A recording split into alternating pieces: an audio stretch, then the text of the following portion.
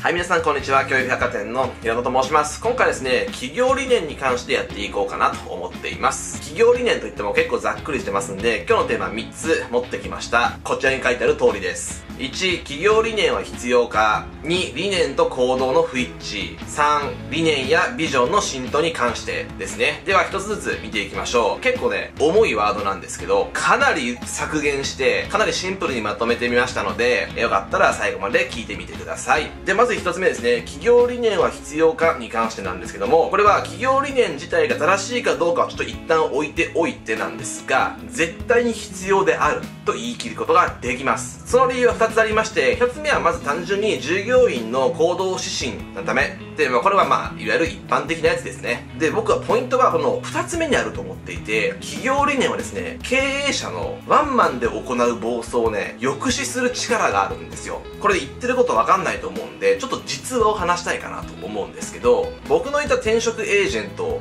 にはですね、まあ、外部から社長が入ってきたんですね。生え抜きじゃない方が社長になったというケースだったんですよ。その時に、当然生え抜きの役員幹部みたいな方もいらっしゃいますから外部から来た社長がこういうことをやってったらもっと会社が発展するんじゃないかこういうことをやってったらもっと売り上げが出せるんじゃないかっていうまあ案を出したらしいんですよ。その案は確かに非常にいいものだったらしいんですがそこの会社がずっと昔からやってきてた企業理念にちょっと反するような内容だったんですよね。儲かるけど。その時に生え抜きの役員がいやこれはちょっと企業理念と合わないんで社員の同意が得られないと思うから想定している成果通りに出るとは思えないと。そもそも企業理念とちょっとやっぱ違うからうちの従業員たちに合わないんじゃないか。って話をして社長がなるほど。企業理念がすごく浸透している会社だったのでそれは無理だ。って判断して一旦その非常に儲かりそうだけど一旦取り下げたっていうことがあったんですよ。こういうふうにですね企業理念がしっかりあると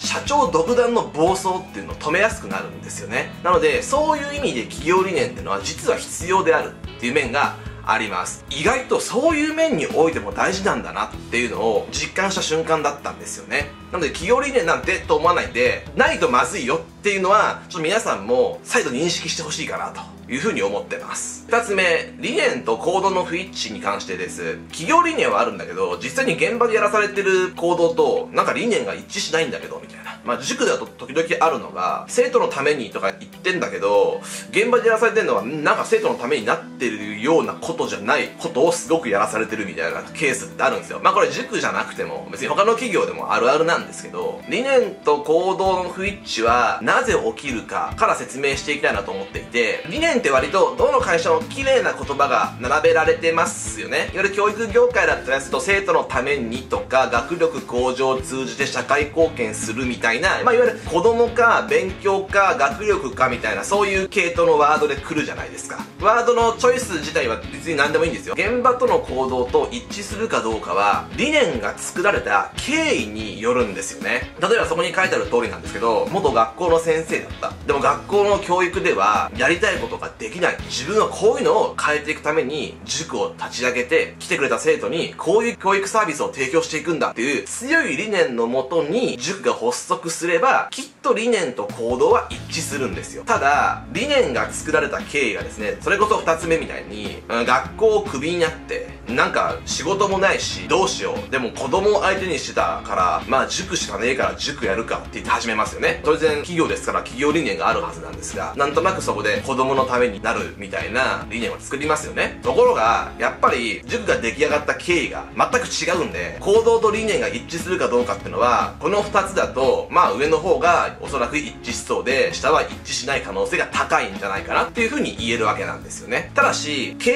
手腕があるかどうかと理念と行動が一致してるかどうかはちょっと別問題なんで下のようなタイプの会社でもものすごく成長してる会社っていうのは現実問題あるんじゃないかなと思うし上のように素晴らしい理念で始めてもちょっと経営手腕がなかった会社のお金の流れ全然把握できてなくて資金が焦げついて倒産しちゃいましたという例はあると思うんでちょっと難しいところなんですけど経営手腕とは無関係であると僕は思っています。ただ理念と行動が一致するか不一致になるかは経緯によるっていうのは間違いないないかなと思います。で、3つ目ですね。理念やビジョンの浸透をどうやってさせるかっていう話なんですけど、僕は理念とか無駄だろうと、そんなすり合わせとかする意味なんて全くないだろうと思ってたタイプだったんですけど、僕のいた転職エージェントでは、僕は理念に共感し、きちんと行動をとっていました。なんで理念に共感して行動したんですか？言われると、まあ今思い返すと3つあるかなと思っていて、まず1つ目が、理念に関する読み合わせや話し合いがあってたんですよね。でさらに、自分の直属の上司、さらにもう1個上の上司が、きちんとその理念に従って行動をとると宣言し、確かにその通り行動しているなってのを目の前で見てきたんですよね。だから、自分もやらなきゃいけないなって思いました。別に同調圧力という意味じゃなくて、素晴らしい理念に対して素晴らしい行動をしてる上司を見て、自分も素晴らしい行動をしようと素直に思っただけ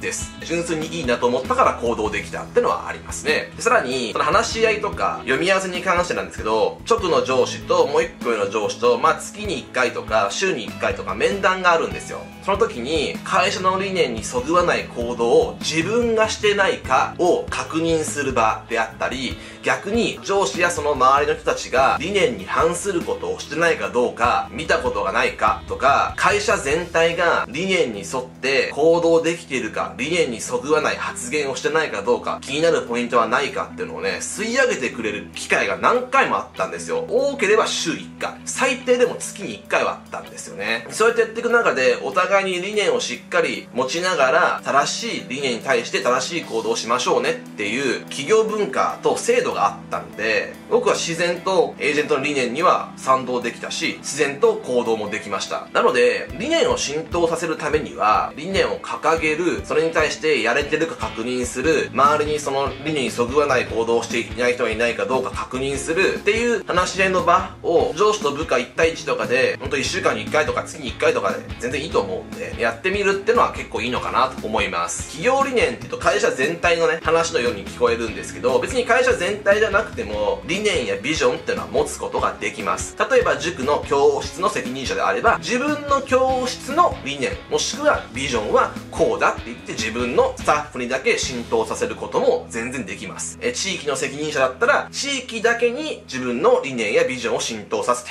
それに基づいて行動させるってこともできます。ただしその場合は、あのもう散々説明しましたけど、どれぐらい徹底して話し合いをするか、伝えていくかっていうのと、行動の不一致を起こさないことがポイントであるというふうに思ってますので、そのあたり気をつけて、理念やビジョンを使って、従業員の行動をいいものに変えていってほしいかなというふうに思っております。はい、では参考になった方は高評価、チャンネル登録の方よろしくお願いします。それではありがとうございました。